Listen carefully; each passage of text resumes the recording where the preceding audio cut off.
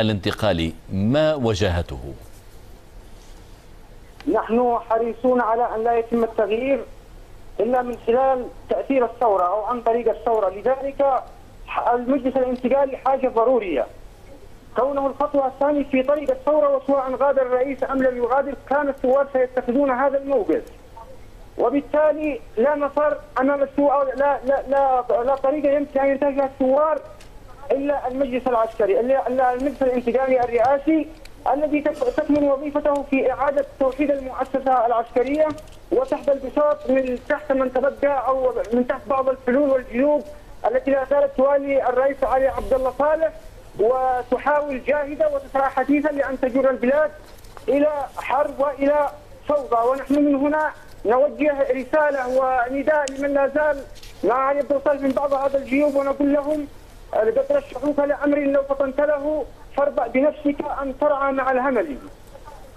فيما يتعلق بمناشدة آه، دول صديقة وشقيقة مثل ما ذكرتم أساسا المملكة العربية السعودية والولايات المتحدة لتفهم آه، مطالب الشباب وعدم التعاون مع آه، بقايا نظام ميت كما سمته اللجنة التحضيرية هل تتوقعون استجابة معينة؟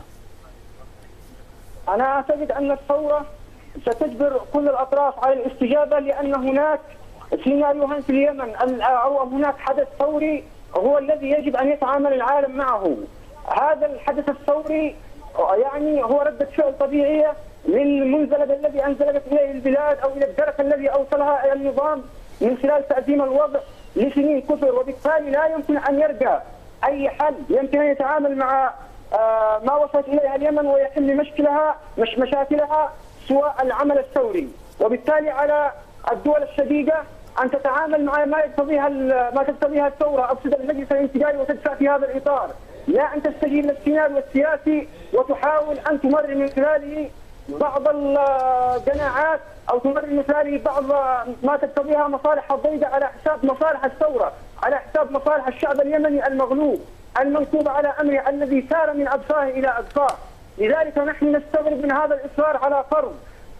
يعني أبناء الرئيس على رأس المؤسسات العسكريه والامنيه ونتساءل كيف يمكن أن يصلح الوضع وهذا الحائل يقف دون تمرير المشاكل التي تقتضيها طبيعه أو الحلول التي تقتضيها طبيعة المشاكل في البلاد، لذلك على العالم أن يقف إلى جانب الثوار الذي لن يتراجعوا تحت اي أي ظرف ومهما كانت التضحية. شكرا جزيلا لك همدان الحكم أحد شباب الثورة الشبابية اليمنية كنت معنا من صنعاء.